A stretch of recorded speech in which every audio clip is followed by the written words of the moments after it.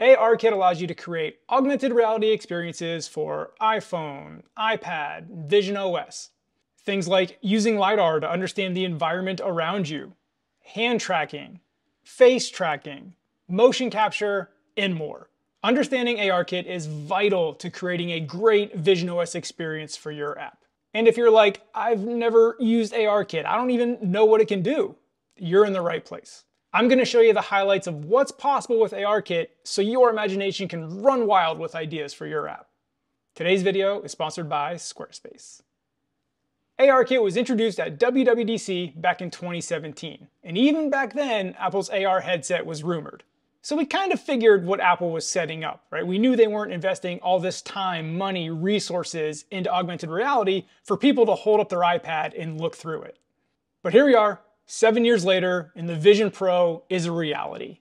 And Apple was very smart to release ARKit all the way back in 2017 because now they've had years to iterate on it and improve the underlying technology. And while augmented reality is an option that you can build into an iPhone or an iPad app, it is fundamentally baked into the Vision Pro. Things like scene understanding, hand tracking, eye tracking, etc. And ARKit goes hand in hand with another framework called RealityKit, so you're gonna need to learn both. But to put it succinctly, as the name implies, Reality Kit makes your AR experience feel as real as possible. Things like lighting, shadows, animations, physics with collision detection, all that stuff. And if you're curious about that, I'm gonna have a video in the next few days just like this one for ARKit, but for Reality Kit, so stay tuned to the channel for that. So here are some of the highlights of what ARKit can do. And first and foremost, it's gotta understand the world around you, and it does that through world tracking and scene understanding.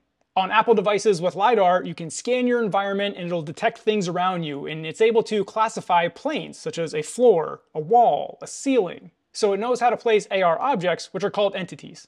And LiDAR is also able to detect depth. As you can see, you get this 3D point cloud, which greatly improves the way AR objects interact with the environment, as you can see with this slime being dropped on the couch.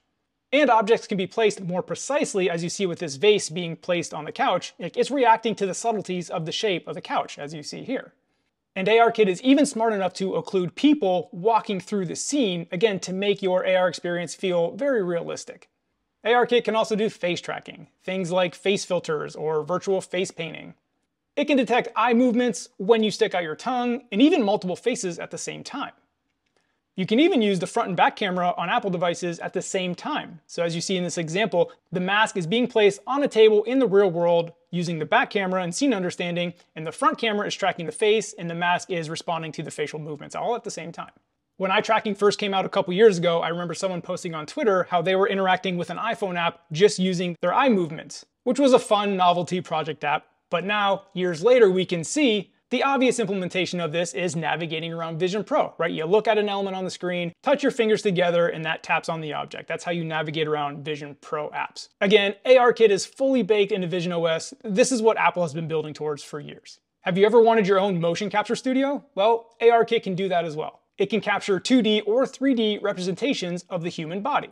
And in code, you get access to all the joints on the skeleton so you can manipulate or animate them however you see fit. ARKit can expand to the real world as well with location anchors and geo-tracking. In this example, you can create a virtual art installation outside the Ferry Building in San Francisco using the latitude and longitude of that location, right? You place your AR object at that lat and long and it shows up to anyone walking around, you know, that's using your app. Geo-tracking can use data from Apple Maps as well as your device to create a nice augmented reality experience in the real world, like putting labels over buildings or giving directions real time in 3D. It's really powerful stuff. An important note on this is location anchors and geo-tracking is only available in certain places. A lot of major cities in the US have it and some select cities around the world, but the good news is this list of cities is growing year after year after year. Like I said before, when it comes to Vision OS and the Vision Pro, ARKit is fully baked in. And it makes sense, right? On an iPhone or an iPad, ARKit isn't really the default use case. Well, the Vision Pro, like augmented reality, that's what it is. But for your apps, if you want to fully utilize ARKit, you're going to need to use a dedicated space. And a quick recap on Vision OS, you know, fundamental building blocks. Vision OS has windows, volumes, and spaces, right? A window is a typical 2D window we're used to seeing. A volume is like an invisible cube in front of you that can hold a 3D object. And then a space takes over the entire Vision Pro for your augmented reality experience. And in a dedicated space is where you can utilize ARKit, all the world tracking, scene understanding, hand tracking, etc. Like look at this bowling game where they're holding up the iPads. Picture that, except you're not holding up an iPad, right? You just got the Vision Pro on your face and you get to move around like that. ARKit is fundamental to building augmented reality experiences on the Vision Pro. And this is just a taste of what's possible. Hopefully your imagination is starting to run wild.